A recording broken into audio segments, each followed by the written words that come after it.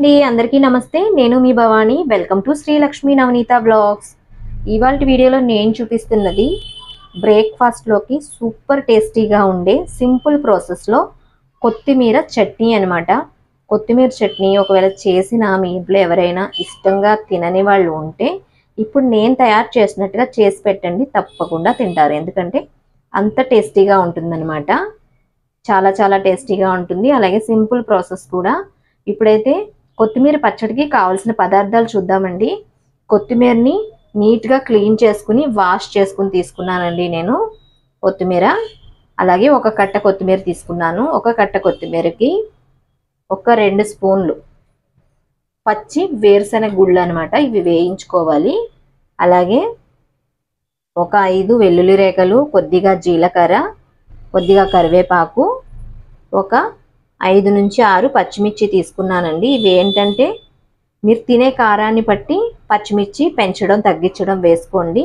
ఇంకొకటి మాకు ఈ పచ్చిమిర్చిలు చాలా ఘాటే ఉంటాయండి. అందుకని నేను చూసారు కదా కొత్తిమీర వేరుశెనగ గుళ్ళు వెల్లుల్లి రేఖలు జీలకర్ర అలాగే కరివేపాకు పచ్చిమిర్చి. కొద్దిగా చింతపండు కూడా వేయాలండి దీంట్లో. ఇప్పుడైతే కొత్తిమీర పచ్చడికి కావాల్సిన పదార్థాలు అయితే చూసారు కదా ఇప్పుడు తయారీ విధానం చూసేద్దామండి. ముందుగా కొత్తిమీరని అయితే కడిగి పెట్టేసుకున్నాను కదండి. కొత్తిమీరని అయితే చిన్నగా తరుక్కోవాలి. కొత్తిమీరని కట్ చేసిన తర్వాత చూపిస్తాను నేను మళ్ళీ మీకు. కదండి కొత్తిమీరని ఇలాగా చిన్నగా తరుక్కున్నాను అనమాట ఇప్పుడైతే కొత్తిమీర పచ్చడి తయారీ విధానం చూసేద్దాం. ఇప్పుడైతే స్టవ్ వెలిగించి బాండీ పెట్టానండి. బాండీ అయితే హీట్ అయింది. ఇప్పుడు దీనిలోకి కొత్తిమీర చట్నీకి ఆయిల్ అయితే వేసుకుందాం. చూసారు కదా? కొద్దిగా ఆయిల్ వేసాను. ఆయిల్ హీట్ అవనిద్దామండి. ఇప్పుడైతే ఆయిల్ హీట్ అయిందండి. ఆయిల్ హీట్ అయిన తర్వాత వేరుశనగుళ్ళు వేసుకుందాం. వేసుకుని చిన్న మంట మీద వేగనివ్వాలి.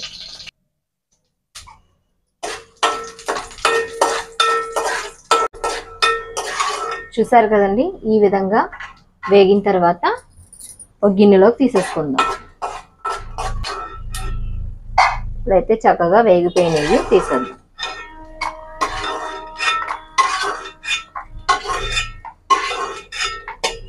చూసారు కదా? ఇప్పుడు దీనిలోకి పచ్చిమిర్చీల్ని ఇలా ముక్కలుగా చేసుకుని వేసుకోవాలి. అలాగే దంచి పెట్టుకున్న వెల్లుల్లి రేఖలు కొద్దిగా జీలకర్ర అలాగే కొంచెం కరివేపాకు. వేసుకుని వీటిని కూడా చిన్న మంట మీద వేగనివ్వాలి. చూసారు కదండి? కొంచెం వేగిన తర్వాత పచ్చిమిర్చి పచ్చిమిర్చిని కూడా తీసేసుకోవాలి.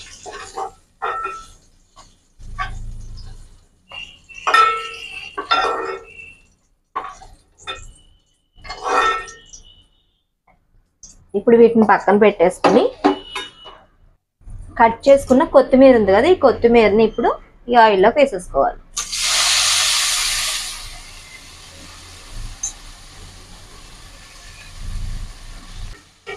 వేసుకుని కొత్తిమీర ఎక్కడ పచ్చి వాసన లేకుండా చిన్న మంట మీద వేయించుకోవాలండి.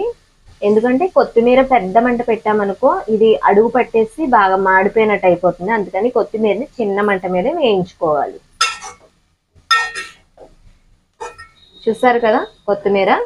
ఇలా ఒక్కసారి కలిపేసిన తర్వాత చిన్న మంట మీద మూత పెట్టి మగ్గించుకోవాలండి. పచ్చివాసన పోయేదాకా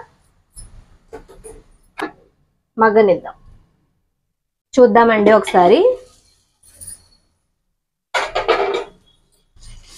చూసారు కదా? ఎంత ఎక్కువగా కనిపించింది కొత్తిమీర ఇంత తక్కువ అయిందనమాట ఆకుకూరలు ఎప్పుడు కూడా ఎక్కువగా కనిపిస్తాయి. వండేటప్పటికి చాలా తక్కువగా ఉంటాయి. కానీ దానిలో ఆరోగ్యకరమైన పోషకాలు అయితే చాలా ఎక్కువ ఉంటాయి అన్నమాట కొంచెం తిన్నా కూడా చాలు. ఇలా అంటూ కొత్తిమీరని మగ్గించుకుంటే ఈ కాడల్లో కొంచెం వాటర్ లాంటివి ఉంటుందండి. ఆ వాటర్ అంతా బయటకు వచ్చేసింది అనుకో మనకి త్వరగా చక్కగా మగ్గిపోతుంది.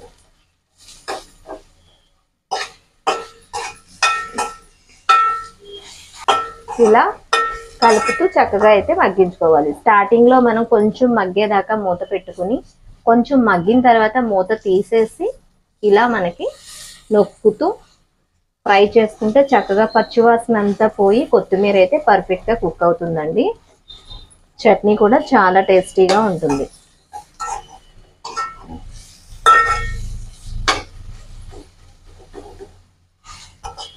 ఇప్పుడైతే కొత్తిమీర మగ్గిపోయిందండి ఇంకా. తీసేద్దాం. ఇంతకు మించి ఇంకొంతసేపు వేయించాము అంటే మళ్ళీ మాడడం స్టార్ట్ అయిపోతుంది. అప్పుడు చట్నీ టేస్ట్ మారిపోతుంది. అందుకని ఇప్పుడైతే ఇంకా స్టవ్ ఆఫ్ చేసేసుకుందాం కొత్తిమీర మగ్గిపోయింది. ఇప్పుడు కొత్తిమీర చల్లారిన తర్వాత చట్నీ మిక్సీ పట్టుకోవాలి. ఇప్పుడైతే పోపు చల్లారిపోయిందండి. కొత్తిమీర చల్లగా అయిపోయిందండి. అలాగే ఇక్కడ పోపు కూడా చల్లగా అయిపోయింది. మిక్సీ జార్లో వేసాను ఇప్పుడు ఈ కొత్తిమీరని కూడా తీసేసుకుని మిక్సీ జార్లోకి వేసేసుకుందాం.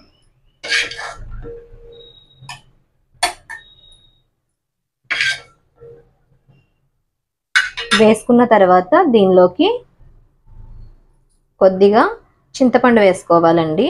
మీరు పులుపు కొంచెం ఇంకా తక్కువ తింటే కనుక కొంచెం తీసేసి వేసుకోండి. నేనైతే కొద్దిగా పులుపు వేస్తున్నాను. అలాగే దీనిలోకి కొంచెం పంచదార కూడా వేసుకోవాలండి. వేసుకుంటే మనకి టేస్ట్ ఇంకా బాగుంటుంది అనమాట చట్నీ టిఫిన్లోకి సూపర్గా అదిరిపోతుంది ఇంకా. అలాగే రుచికి తగినంత సాల్ట్ కూడా వేసుకోవాలి. వేసుకున్న తర్వాత మూత పెట్టేసి మిక్సీ పట్టేసుకోవడమేనండి ఇంకా. ఇది పచ్చడిని మిక్సీ పట్టిన తర్వాత చూపిస్తాను మళ్ళీ మీకు. చట్నీ అయితే మిక్సీ పట్టేశానండి. చూద్దాం. చూసారు కదా? మంచి కలర్ఫుల్గా గ్రీన్గా సూపర్గా ఉందన్నమాట. టేస్ట్ కూడా నేను చెప్పినట్టుగా అంతే సూపర్గా ఉంటుందండి. ఇప్పుడైతే చట్నీని ఒక గిన్నెలోకి తీసేసుకుందాం.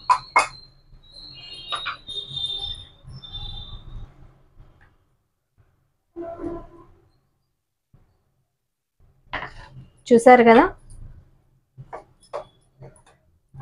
కొత్తిమీర చట్నీ అయితే తయారైపోయింది. దీనిలోకి పోపు వేసుకుందామండి. మరింత రుచిగా ఉంటుంది. వేసుకోవడానికి కొత్తిమీర వేయించుకున్న బాండీ ఉంది కదండి ఇంకా దానిలోనే కొద్దిగా ఆయిల్ అయితే వేయాలి. కొంచెం చాలు. కొంచెం ఆయిల్ వేసిన తర్వాత ఆయిల్ హీట్ అయిన తర్వాత ఆవాలు వేసుకోవాలి. వేసుకుని ఆవాల్ని చిటపట్లాడేదాకా వెయిట్ చేయాలి. ఆవాలు కొంచెం చిటపట్లాడుతున్నాయి కదండి ఇప్పుడు దీనిలోకి కరివేపాకు వేసుకుందాం. అంతేనండి. సింపుల్గా పోపు అయితే తయారైపోయింది. అయితే ఈ పోపుని కొంచెం చల్లారిన తర్వాత చట్నీలోకి వేసేసుకుందాం. అండి చూసారు కదా? చట్నీలోకి పోపు అయితే వేసేసాను. ఒక్కసారి బాగా కలుపుకుని మీకు కావాలంటే ఇంకొంచెం పలచగా చేసుకోవచ్చు. లేదంటే ఇలాగే తినేయచ్చు. చాలా టేస్టీగా ఉంటుంది. అలాగే చాలా హెల్దీ కూడా. కొత్తిమీర తింటే మంచిది అంటారు కదా? చూసారు కదా? గుమగుమలాడే టేస్టీగా ఉండే సింపుల్ ప్రాసెస్లో కొత్తిమీర పచ్చడి అయితే తయారైపోయిందండి.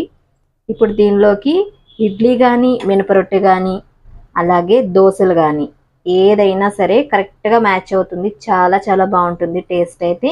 ఇప్పుడైతే నేను దీనిలోకి ఇడ్లీ అయితే చేశాను అనమాట ఇడ్లీలో వేసుకుని తినడమే.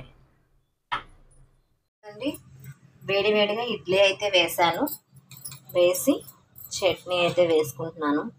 నిజంగా చాలా టేస్టీగా ఉంటుంది. ఒకసారి తప్పకుండా ట్రై చేసి ఎలా వచ్చిందో నాకు కామెంట్ చేయడం మర్చిపోకండి.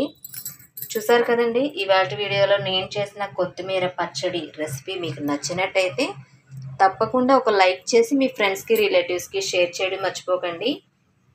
అలాగే మా ఛానల్ని అయితే సబ్స్క్రైబ్ చేసుకోండి.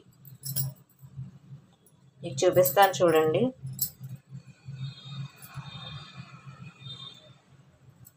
ఎంతో టేస్టీగా ఉంటుందన్నమాట. ఒకసారి తప్పకుండా ట్రై చేయండి.